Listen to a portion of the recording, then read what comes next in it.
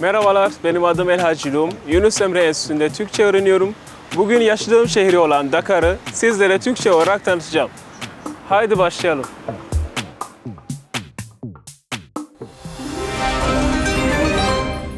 Şehrime hoş geldiniz. Dakar bölümüyle yarın TRT 1'de.